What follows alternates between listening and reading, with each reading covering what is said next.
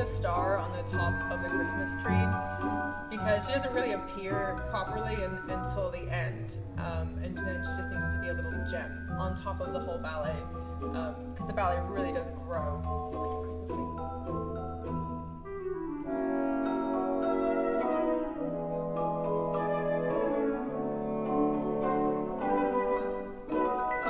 like a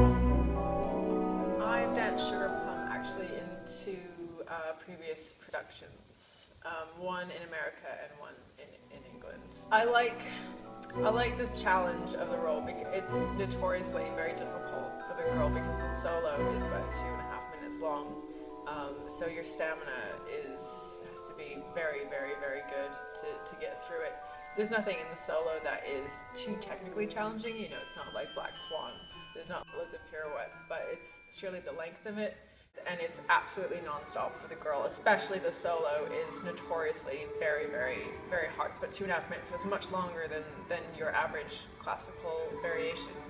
Um, particularly when on top you must look, you must look bright and glittering, and it has to look easy. So trying to make that look easy on top of your heart pounding and sweating and you can't feel your feet by the end is, is what makes it very, very challenging.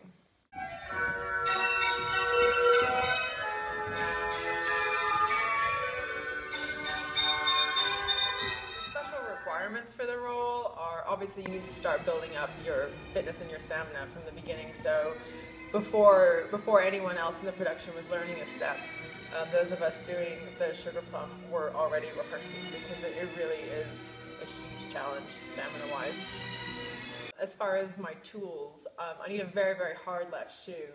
So I actually take an entire pair of shoes, and those will both be left feet.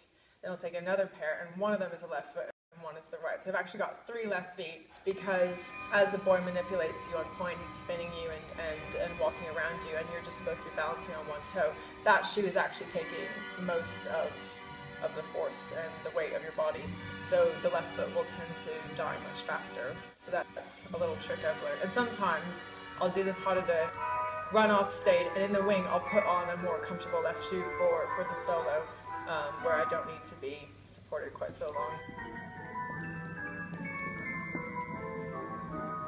Uh, this year, my Cavalier in the Sugar Plum Deux is being danced by a very talented young dancer named Dominic Harrison.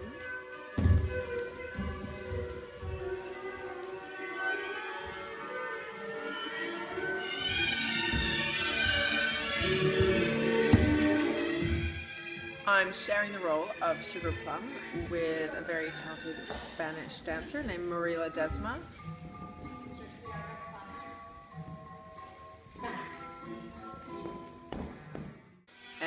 Uh, she's partnered by the ever princely Jade Kale Christophe.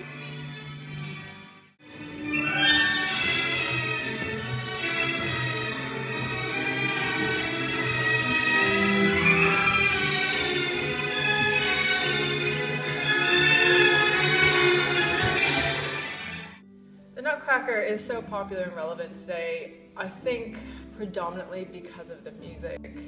Um, from every shopping mall to commercials at Christmas on television, you're hearing the score all the time, and it's because it's a fantastic score.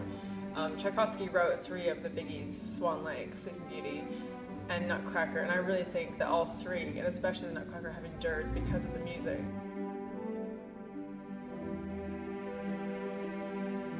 There's something about the Sugar Plum de that it isn't just cheery Christmas music. There's some, there's like a, there's a pull underneath that. There's a bit of sadness, even though there's no specific story when you're doing the Sugar Plum Fairy. You know, you're just a character.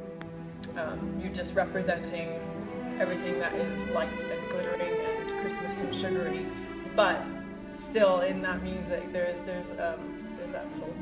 Your job as a Sugar Plum Fairy is 100% to just interpret that music um, through dance um, and what wonderful music to, to interpret.